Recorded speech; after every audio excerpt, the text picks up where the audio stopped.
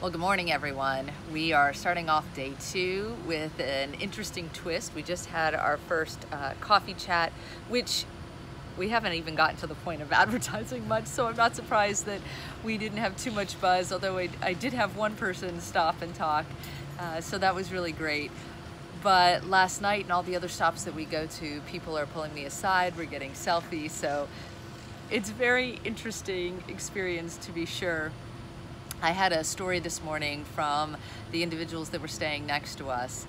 He is a concrete pourer and he was saying the problem that they run into all the time is that they have individuals who are the architects who decide how it is that they want something set up.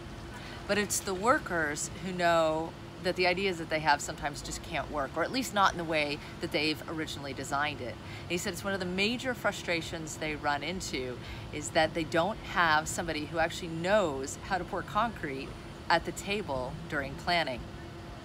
And I said, well, sir, that's exactly my read of government.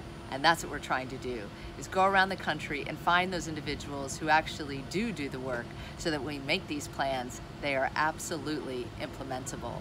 So off we go today to Savannah and we'll be talking about uh, rescuing and saving the turtles. So I'm very excited and we'll, uh, we'll be sharing it on Facebook Live about one o'clock. See you there.